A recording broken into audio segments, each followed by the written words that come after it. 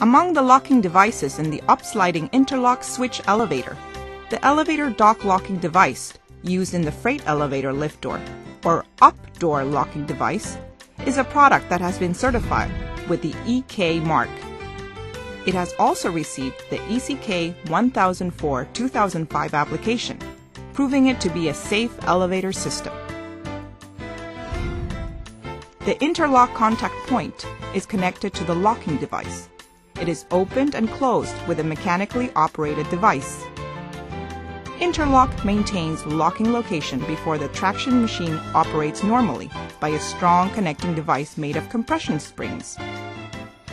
When the elevator car automatically stops or is being leveled, electric power is continuously provided via a normal control circuit to the traction machine.